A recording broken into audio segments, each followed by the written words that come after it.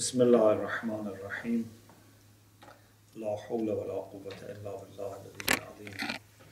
الحمد لله رب العالمين. صلى الله على سيدنا محمد وآله الطيبين الطاهرين. اللهم صل على محمد وآل محمد. لا سيما بقية الله في الأراضين. أجل الله تعالى فرجه الشريف. اللهم أخرجني من ظلمات الوهم وأكرمني بنور الفهم. اللهم افتح علينا أبواب رحمتك وانشر علينا خزائن. علومك برحمتك يا أرحم الراحمين.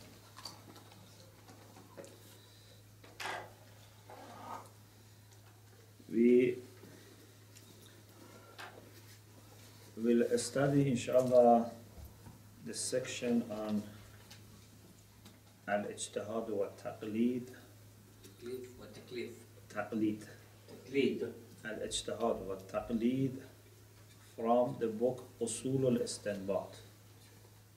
This book is a famous book and it is used as also a textbook in some places about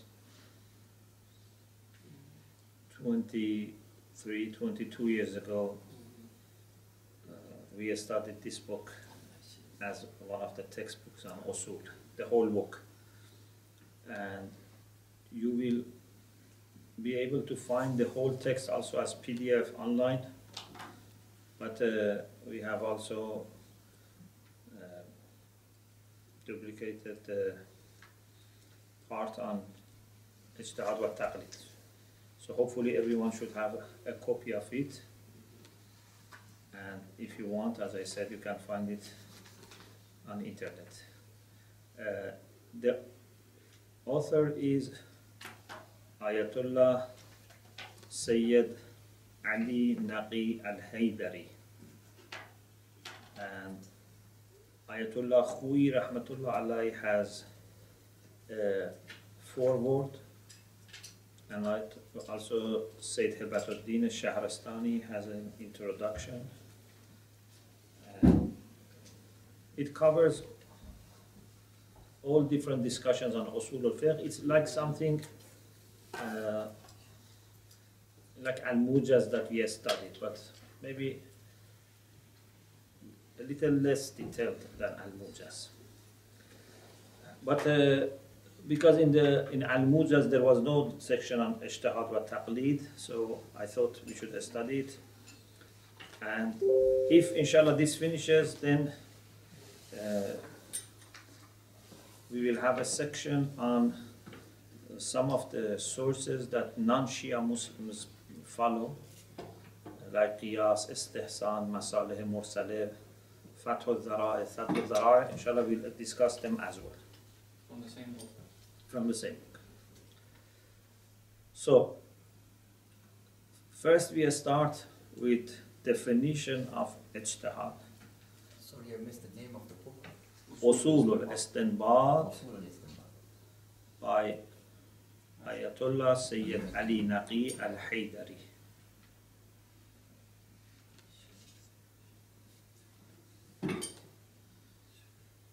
The whole book is also available online. It's in English or it's in Arabic only? It's in Arabic. In Arabic. Yes. So, first we start with the definition of ijtihad. In its literal sense, al ijtihad comes from juhd. Juhd means efforts. Yeah, ijtihad means you do your best. You try hard. So he says, al-ijtihadu fil lughah huwa al-majhud fi talab shay. To spend your maximum energy in doing something or seeking something. Uh,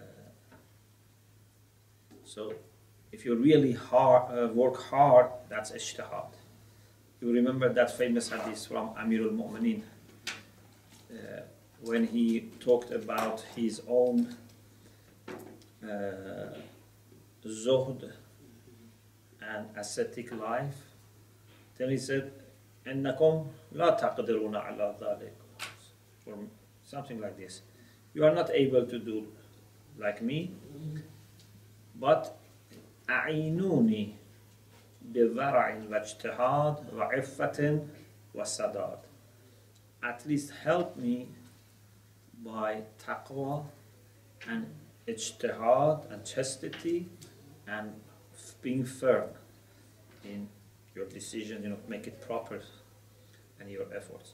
So ijtihad means working hard. If we don't work hard, if we don't make efforts, we will not be successful. So this is the literal meaning.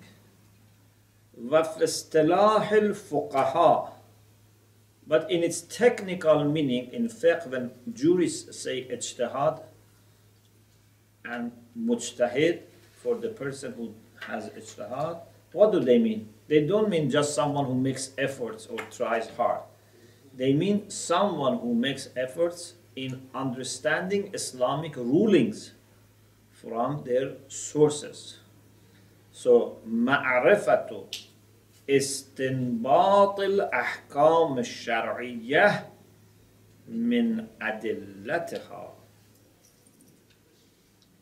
you know how to infer, how to draw Islamic rulings from its their sources. Okay? Al-Ahkam al-Shar'i min adillataha. Because if you just know ahkam based on risale of your mujtahid, you know ahkam, but this is not ijtihad.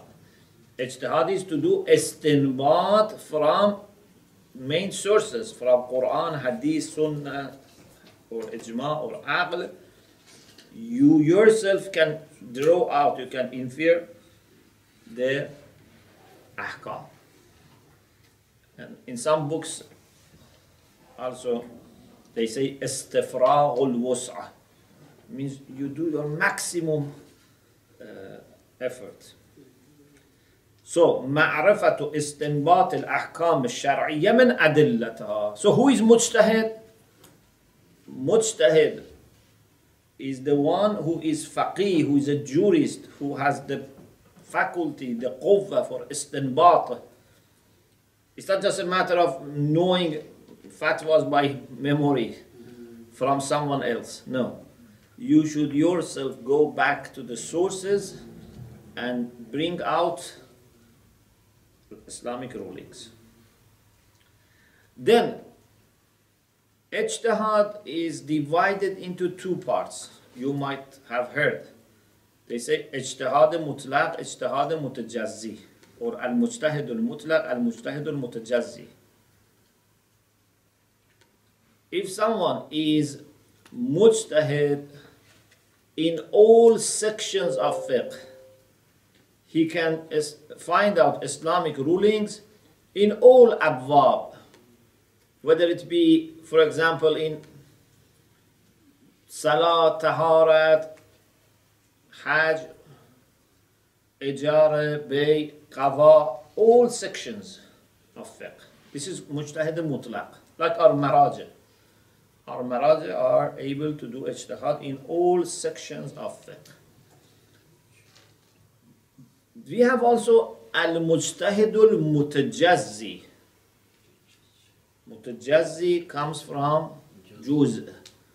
So this is someone who is mujtahid but in a particular field. For example, someone who has worked for few years on tahara. And now in tahara, we can trust him and he can, you know, trust his own opinion because it's, he's able to go back to the sources and find out Islamic rulings. So he's called al-mujtahidul mutajazzi. Or suppose someone wants to do uh, judgment, qadi. Normally we say qadi has to be mujtahid. But uh, it's difficult to get enough mujtahid mutlaq. So some say if it is mujtahid mutajazzi, it's also okay. Is it clear? There's one question here. That, Yes. uh, we have mujtahid mutajazzi. Well, are we allowed to have the lead of two No. mujtahid? Then what's the point of uh, mutajazzi? No.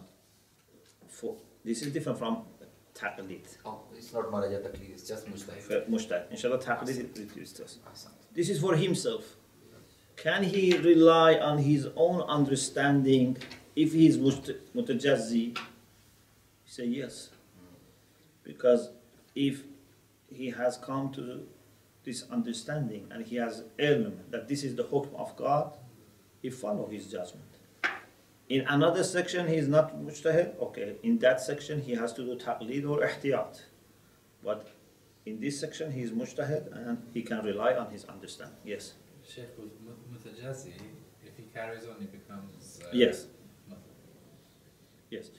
So actually, some people who say we may not have ijtihad mutajazzi, uh, he says actually we have because gradual process. So it's not that uh, someone all of a sudden in all fiqh becomes mujtahid. He starts with some sections and then he expands. so وهو إما مطلق أو متجز اجتهاد is either mutlaq or mutajazzi means either it is uh, comprehensive or it is Partial. partial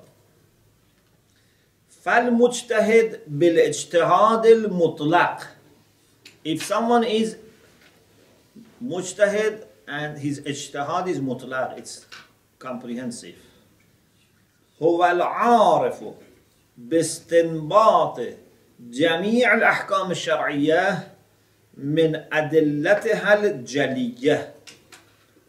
He, is the one who has ability to draw out Islamic rulings all of them جميع. طهارة صلاة زكاة حج صوم نكاح إجارة معاملة قضاء ديات حدود. All Islamic rulings he can draw out from its clear sources. Why we add the modifier jaliya, clear? Because sometimes it's not the fault of mujtahid. We don't have clear reason here.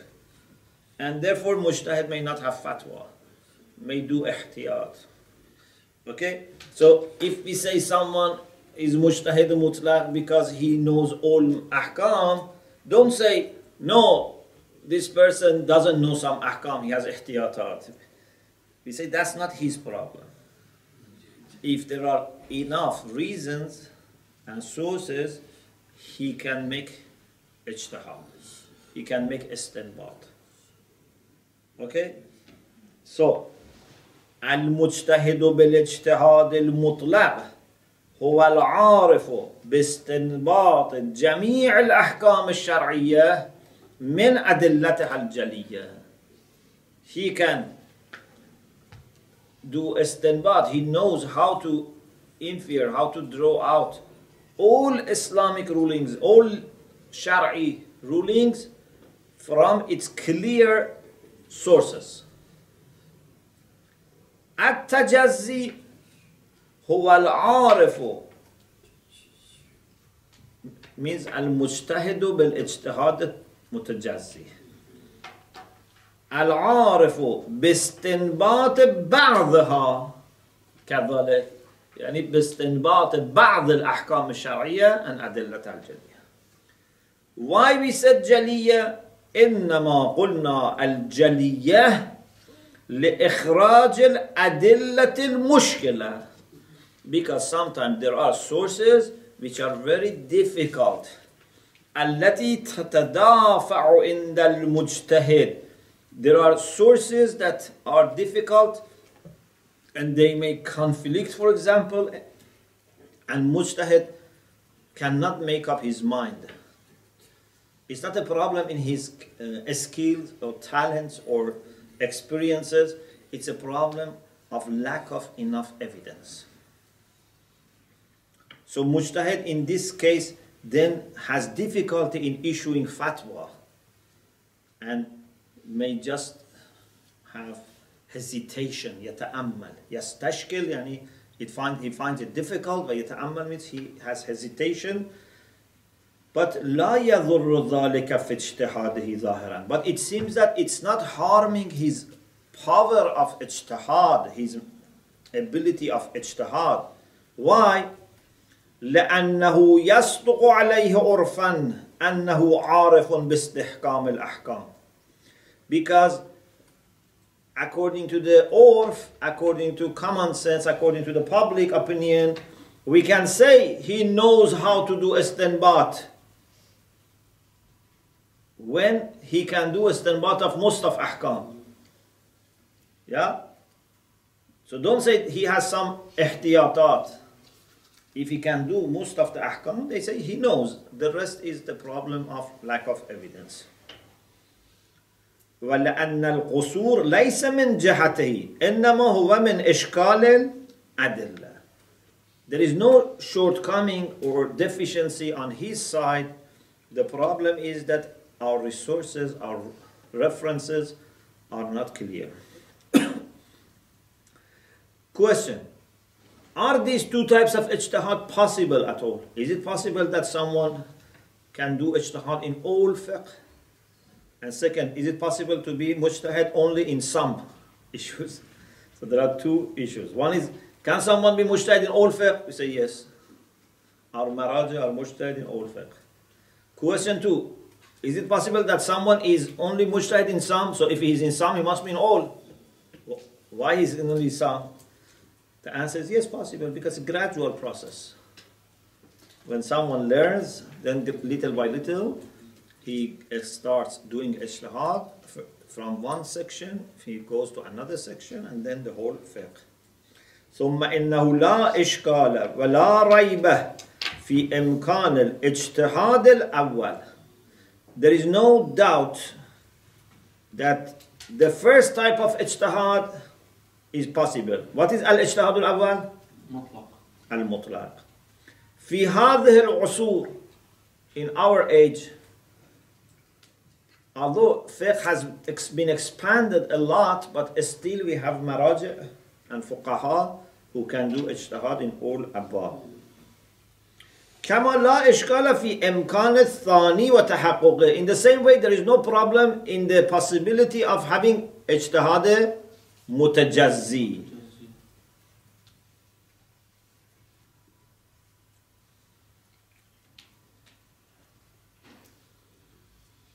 لأن المطلق لا يمكن حصوله دفعة because اجتهاد مطلق doesn't happen at once دفعة means At once. at once بل شيئا فشيئا little by little gradually and this is the meaning of tajazi we mean that he first starts becoming mujtahid in one section and then to, he goes to others فشيئا فشيئا شيئا فشيئا means gradually yes little by little slowly also لأن ظواهر الألفاظ حجة you know in usul al-fiqh we say ظواهر الألفاظ are حجة are they حجة for only مجتهد مطلق or they are حجة سلام سلام عليكم. or they are حجة for everyone they are حجة for everyone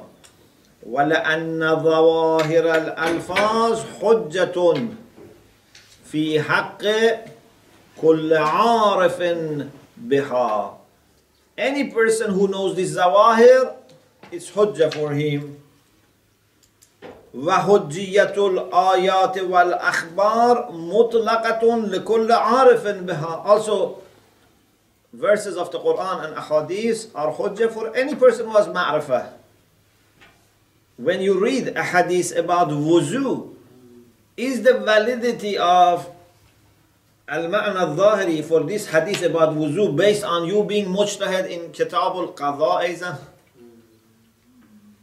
It's not. غاية الأمر yes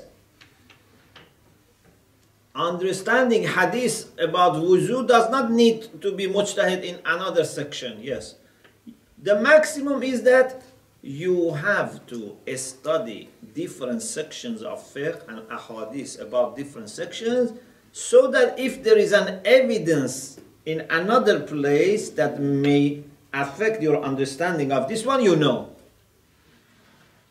so you should know anything about tahara. Even if this thing is mentioned in a, another chapter of hadith. Because you know in the past uh, sometime what they did when they wanted to classify hadith maybe they have broken hadith. They have done taqti' for example a hadith was long one section was about marriage they put it in the kitab al-nikah another section was about wuzu they put it in tahara okay so maybe there is an evidence in the section on nikah which can help us understand the section on tahara. Okay? And this was the idea of Ayatollah al-Uzma Burujerdi when he started a very massive project of Jami' Ahadith al-Shia. And one reason for that was to collect all ahadith and bring all the broken parts together so that you can have the, from the beginning up to the end in one place. In any case, it is possible to be mujtahid mutajazzi and for understanding one part, you don't need to understand the rest, but if in the rest of fiqh or rest of you know chapters of books of hadith there is something that can bear on your understanding of this part, you have to know it. So it can be mujtahid in Kitabul Salat. But if in Kitabul Hajj there is something about Salat, you must know it. Maybe that would be muta'aras for this one. Maybe there would be no conflict. You have to know it. So if you know anything about Salat, that's fine. غاية الأمر يحتاج إلى البحث عن المعارضات لها. Just you should look for those things that may contradict or conflict and change the meaning. والمفروض أن المتجزي متمكن من ذلك and our assumption is that مجتهد متجزي is able to understand anything about salat scattered in different parts. Now, question. Is fatwa of mujtahid mutajazi valid for himself? Can he rely on his own fatwa when he is mutajazzi? The answer is yes, of course. Because if he's mutajazzi means he has ability to understand the ruling. When he understands al-ilmu hujjatun, al-yaqinu hujjatun.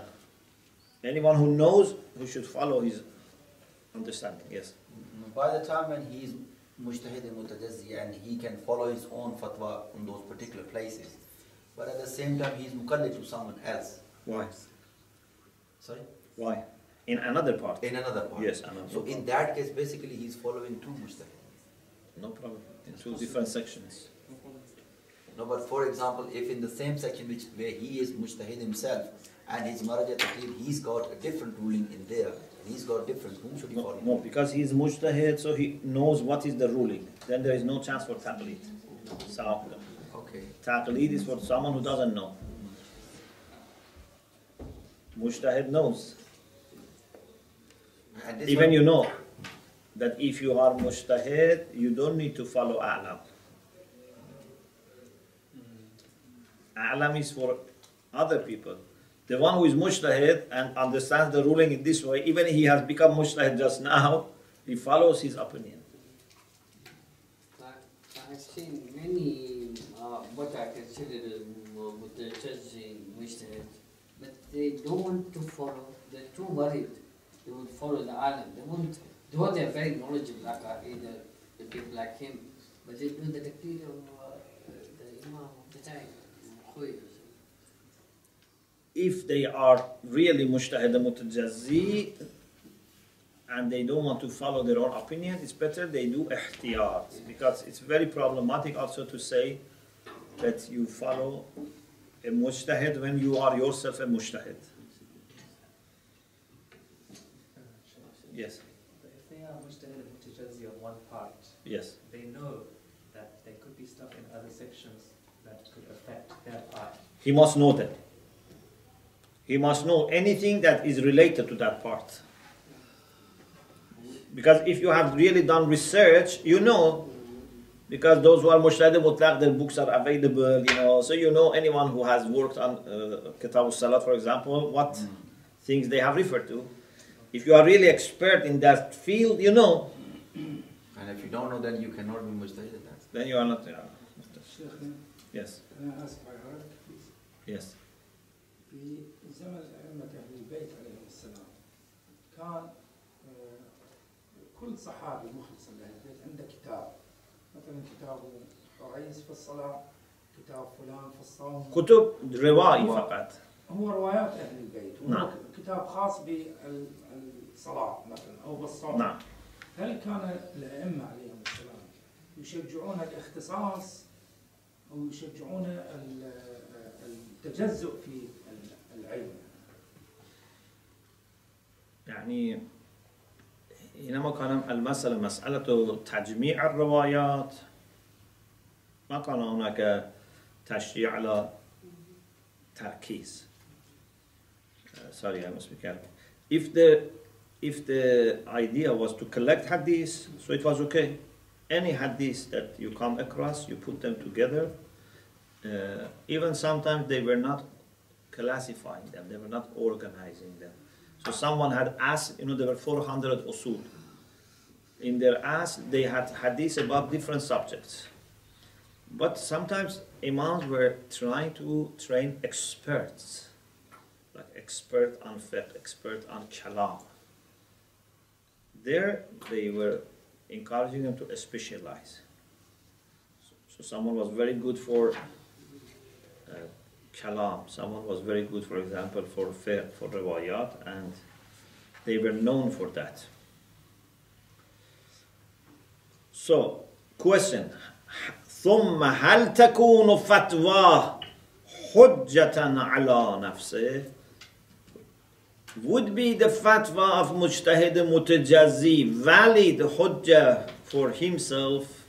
He can rely on his own opinion. We are not talking about other people doing taqlid. We are talking about him following his own understanding, relying on his own opinion. Al-Azharu al-Hujjiyya. The author says the stronger position is that it is actually valid. Why? لأنه عالم في رأيه. Because according to his own opinion he knows the hukm he has done the اجتهاد he knows this is what religion wants. والعالم بالحكم يلزمه العمل به. And the one who knows the ruling he has to do what? He has to practice. فعلى هذا لا يحتاج إلى رجوعه إلى المجتهد المطلق في جواز عمله بفتوى نفسه So he doesn't need to go to Mujtahid Mutlaq and get permission from him to follow his own opinion. Because if this is his opinion means he, he knows. فقول بعضهم إن المتجزي محال أن يعرف حكم نفسه. Some said مجتهد متجزي cannot know what he should do. بعيد ظاهرا. This is very unlikely. It seems to be very unlikely. بعدما كانت خطابات الأحكام متوجهة إلى الناس عامة. The rulings that we have, the verses or hadiths about Islamic rulings, they don't address only mujtahid mutlaq. For everyone. متوجهة إلى الناس عامة. they address everyone, not مجتهد مطلق only. فكل أحد عرف حكمه anyone who knows his wazifa the ruling that applies to him has to implement it has to obey it يلزمه الامتثال another question what about his hukuma because mujtahid has different functions one is understanding fatwa, understanding the opinion of uh, Sharia about something. Another function of mujtahid is he acts as hakim shara. He issues verdicts. That is in detail. That is in particular. You know, when a particular thing happens, for example, to declare that tomorrow is the month of Ramadan, or tomorrow is Eid, this is hukm. Hukm is different from fatwa. Fatwa is general. Hukm is about a particular case. أما نفوذ حكمته حكومته is his governance if his حكومة yeah like rule is that also something that is accepted and has effect فالظاهر العدم no it seems that he has no authority in that sense لظهور أخبار نسب الفقيه حاكما لظهور أخبار نسب الفقيه حاكما في المجتهد المطلق يعني ظهور في المجتهد المطلق because those hadiths which say that faqih has to be hakim its apparent meaning is which type of faqih faqih mutlaq نعم لا يبعد شمولها للمجتهد في معظم الأحكام العامة البلوى Yes, it's possible that we say hukuma is for the faqih that even if he doesn't know masail in all sections, at least he knows all masail which are mubtala. Masail that people normally face. From tahara, from salat, from ijara, nikah, he knows all the masail which are mubtala bih. Maybe every person faces few hundred masail. He knows that. He doesn't need to know few thousand masail. Is it clear? I want to get two definitions. What does nufuz mean and balwa mean? Nufuz means penetrate. But here nufuz hukumatahi means that his hukuma be effective, has power. And balwa? Balwa from ibtila means to be facing something. Something that you go through and you have to face it. The second issue is at taqleed. So alhamdulillah, we finished ijtihad, still we have masail, but just the definition. And the next is at taqleed. What is taqleed? Taqleed in lugha, in literal sense, comes from qilada. Qilada is the ring or necklace, yeah, for the necklace. necklace. For the, for example, sometimes women, they put uh, jewelries. And sometimes can be used for other reasons. Anything that put, is put here. It's for animals as well, like. like It can be also for controlling animals. Anything that is for neck. Okay? قول الإمام حسين عليه السلام آه. خط الموت على Yes. خط الموت على آه، خط الموت على بني, آه، بني آدم مخط القلادة لجدل فتاة. This is the literal meaning. Taqlid technically means we put qilada on someone else. Means for our rulings, we put responsibility on someone ah, else. It's been narrated very wrongly on the film. Yeah, this is taqlid. So taqlid is a kind of facility, a kind of exemption. Instead of you being either mujtahid or doing ihtiyat, which both are difficult. To become mujtahid, you have to study 20, 30 years at least. To want to do ihtiyat means always you have to take the difficult or most difficult option. So Sharia says you can put the responsibility on someone else's neck if he is happy to do so. So therefore, we have to be very grateful to Maraja that they have undertaken this responsibility, that for themselves and for us, they have undertaken the position of marja'iyah.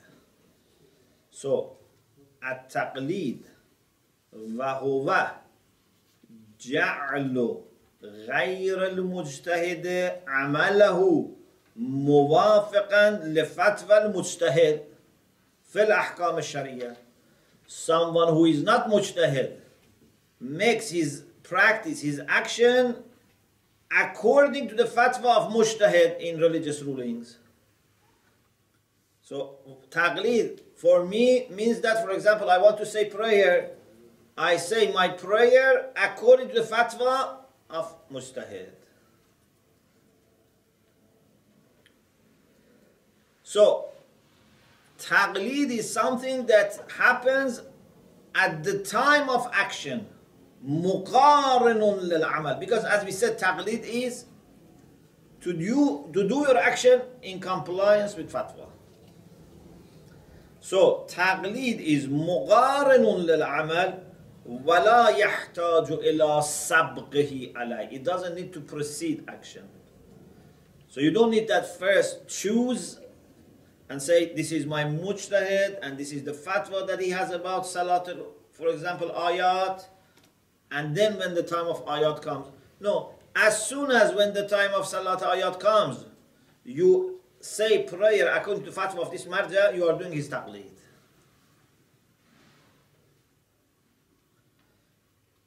ولا ريب في وجوبه there is no doubt that taqlid is necessary على من لا يتمكن فعلا من الاجتهاد والاحتياط Taqlid is necessary for someone who cannot right now do ijtihad nor ihtiyat. He cannot do ijtihad because he has not studied properly or you know has not studied for a long time or he has been busy, whatever. And ihtiyat is also not possible. It's difficult for him. لأنه ظاهرا Why we should do taqlid? Apart from ahadith that inshallah we will mention and ayat of the Quran that we will mention, apart from all that, this is siratul uqala. That someone who is not an expert should refer to experts. لأنه ظاهرا من باب الرجوع إلى أهل الخبرة because taqlid seems to be like referring to the experts وعليه سيرة العقلاء في جميع شؤونهم وأحوالهم Uqala also have such practice that in all their affairs in dunya and akhirah in deen and dunya they refer to experts بل لولاه لاختل النظام العالم had it not been that taqlid is possible the system in the world would be collapsed لأن كل فرد فرد من الناس لا يجمع علوم الدين والدنيا because it's not that every person himself knows everything about dunya and akhirah so our knowledge is not sufficient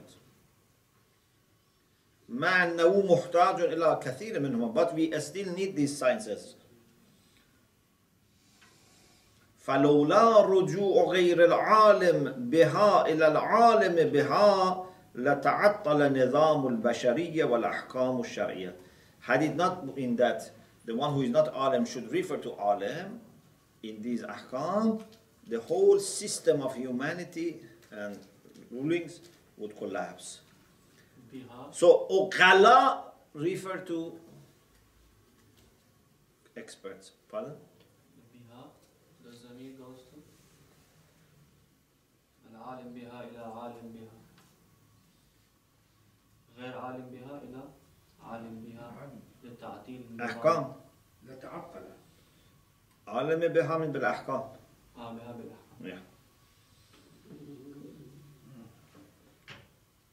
وأن الشارع أمضى عمل الأقلاء في الرجوع إلى الفقهاء. So, أقلاء refer to experts.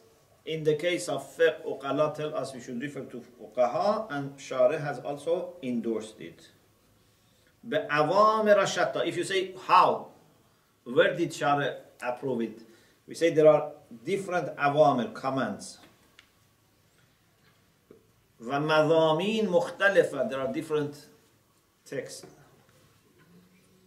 كأخبار مدح العلماء for example we have hadith that praise ulama and say that innahum warathatul anbiya. They inherit from the prophets. Or awamir ruju' alayhim, they command to refer ulama. Wal akhdh anhum was su'al minhum. Refer to refer to ulama and ask questions from them. Or hadith that commands to do tafaqquh for learning and teaching.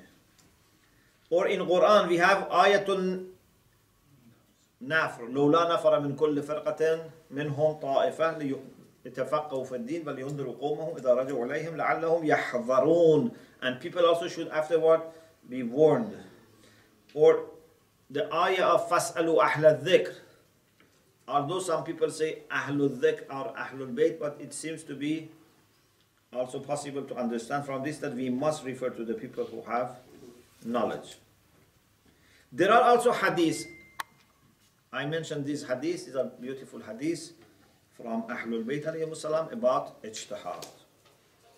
Or uh, more precisely about taqleed. Because the focus is on people referring to them. الأول ما روي من قول عبد العزيز بن المهدي للإمام عليه السلام.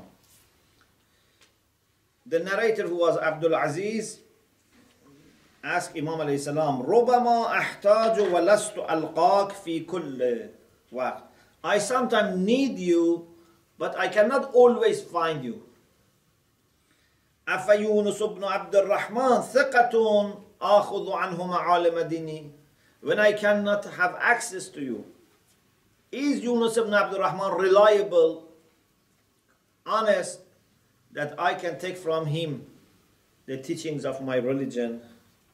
Imam alayhi salam said, Yes. If you look at this question and answer, you see that the one who asked, it seems that he knows he can refer to thiqah. Does he ask whether he is thiqah or not? In his mind, he knew that he can refer to the reliable person. Thiqah means honest, reliable, trustworthy. And Imam alayhi salam also approved that. So it's possible. The second hadith, Imam alayhi salam in writing replied to a question.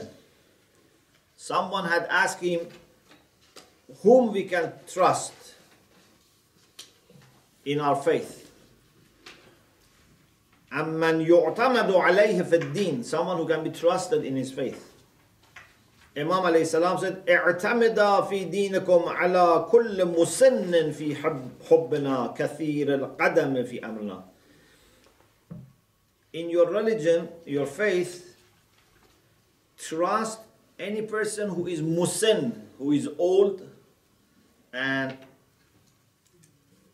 he has spent his life in loving us and he makes lots of efforts in our way. In another hadith, سأله ابن أبي يعفور أمن يرجع إليه إذا احتاج أو سئل المسألة or يرجع إليه. Ibn Ya'fur asked Imam salam to whom he should refer when he himself needs question or people ask him questions and he needs answer. Imam said, فَمَا يَمْنَعُكَ عَنِ الثَّقَفِي What does stop you to refer to Thaqafi, which means Muhammad ibn Muslim al-Thaqafi. امام عليه السلام سید تو شعیب الاقرقوقی اقرقو في ساري اقرقو في yes yes my font is very small اقرقو في عليك بالاسدي one page is blank. This one that you're reading now is blank. No. Page 275. 37. It's one uh, village in the north of Baghdad. MashaAllah. It's 77. It's a village. Yeah, yeah. It's still available. Thank you, yes. So this person must be from that village.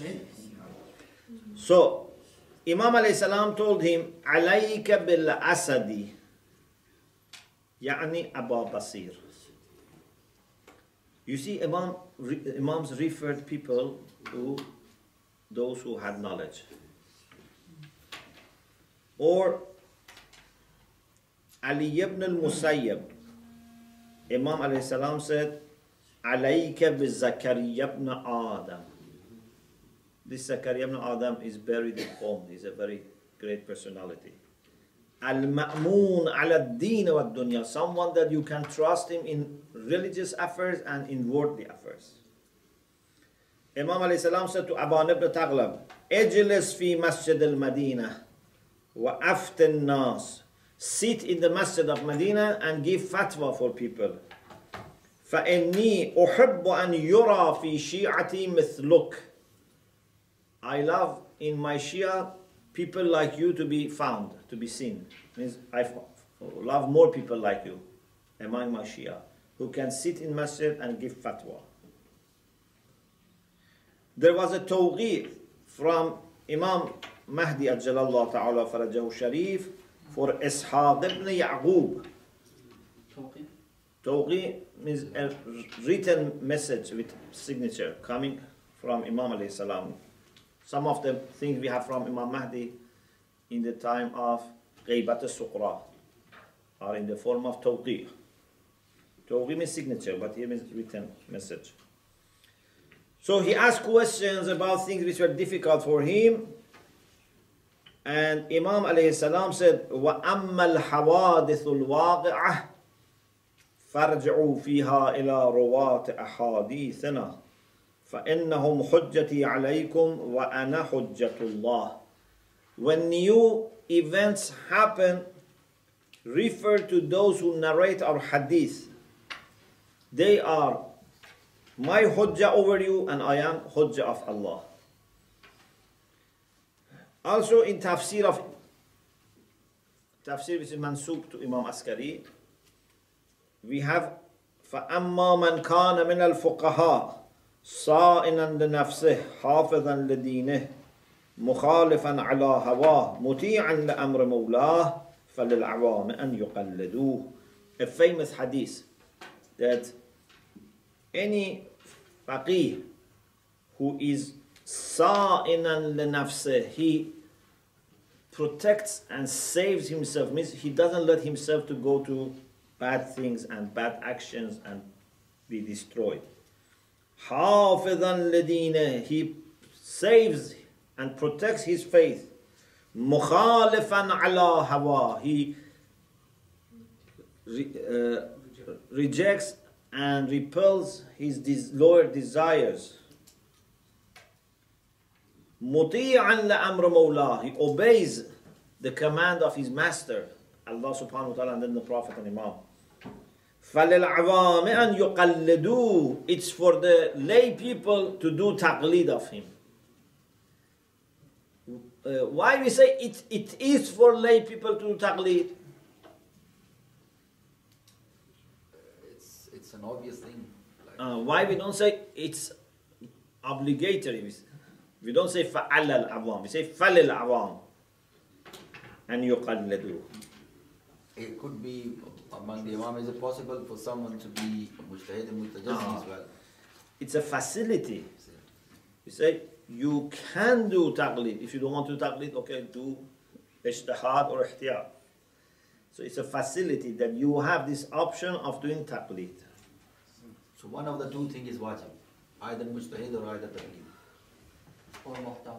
or ihtiyat. Yes, so- Three things. We can't have the fourth. No. فهذه الطوائف من الأخبار these sets of hadith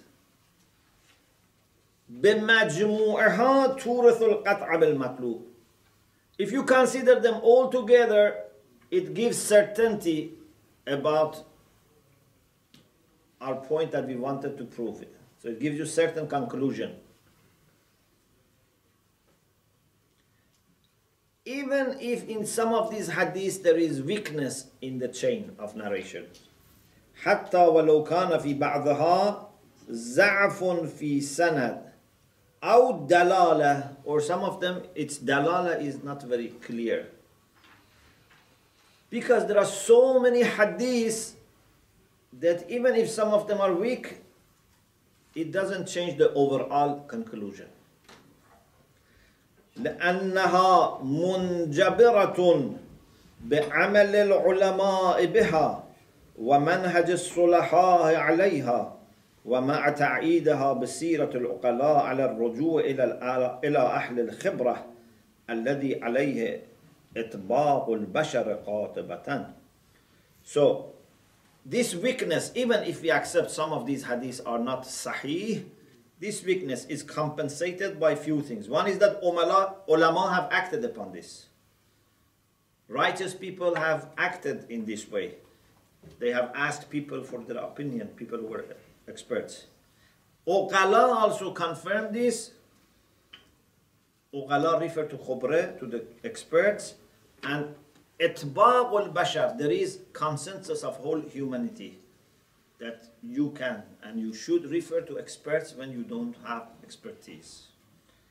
So, there is no doubt about possibility of uh, ijtihad and referring to mujtahideen. Inshallah, we have very good discussion, and that is is it necessary to go to the most knowledgeable mujtahid or it is just possible to go to mujtahid? Is taqleedul a'lam wajib or it is jaiz? This is a good discussion that we are going inshallah to have. وآخر دعوانا أن الحمد لله رب العالمين